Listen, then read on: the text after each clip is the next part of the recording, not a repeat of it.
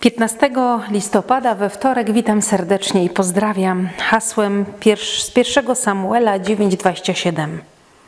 Rzekł Samuel do Saula: Zatrzymaj się na chwilę, a ja ci wyjawię słowo Boże. W Ewangelii Mateusza 13:16 czytamy: Błogosławione oczy wasze, że widzą, i uszy wasze, że słyszą. Ksiądz Beniamin Szmolk napisał: Wskaż mi w słowie swoim, Panie, jak mam chodzić śladem Twym. Niech się serce skarbem stanie, a Twe słowo skarbem w nim. Aż mi w miejsce wiary dasz, ujrzeć Ciebie twarzą w twarz. Dzisiaj o słowie. Jesteśmy zachęceni do tego, aby się zatrzymać i wsłuchać w Słowo Boże. Na początku Ewangelii Jana czytamy, a Słowo ciałem się stało. Jezus Chrystus. Jezus Chrystus przyszedł na świat, aby stać się Słowem, aby wypełnić Słowo, aby nauczyć nas Słowa. Słowo Boże niechaj będzie dla nas czymś ważnym. Słowo Boże to nie tylko Biblia, ale także modlitwa z Bogiem, rozmowa, także pomoc i przyjęcie pomocy od drugiego człowieka. Słowo. Jezus Chrystus daje nam też przykład, jak żyć, jak funkcjonować, jak go naśladować. On zachęca nas do tego, abyśmy się zatrzymali i wsłuchali w to, co ma nam do powiedzenia. A dlaczego tak? Hasło tego tygodnia brzmi: A my wszyscy musimy stanąć przed sądem Chrystusowym.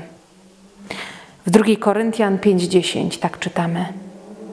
Jezus Chrystus, nasz prawdziwy Bóg, Zbawiciel, nasz Wybawca. Ktoś, kto przyjął cały grzech na siebie, ktoś, kto stał się Słowem.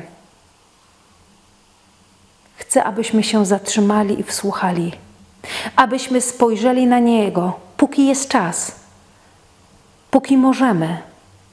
Wołajmy do Niego, zatrzymujmy się i niech On stanie się skarbem w naszym sercu. Do tego wszystkiego zachęcają nas dzisiejsze teksty. Dlatego zachęcam Cię, siostro i bracie, zatrzymaj się, spędź z Panem Jezusem czas, z Twoim Zbawicielem, który z łaski daje Ci odpuszczenie win. I przez pryzmat tego, przez pryzmat własnego krzyża, kiedyś będziecie sądzić. Dlatego bądź na to gotowy.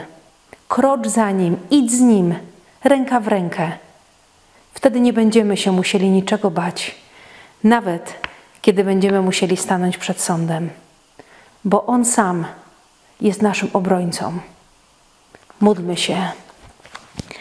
Łaskawy Panie, dziękujemy Ci za to, że możemy widzieć i słyszeć Twoje słowo. Pomóż nam i daj nam zachętę, abyśmy chcieli z tego korzystać. Błogosław nas i daj, abyś był kimś obecnym w naszym życiu. Daj, abyśmy mogli iść na ten świat i głosić, że Ty jesteś kimś ważnym dla nas, nie tylko słowami, ale i czynami.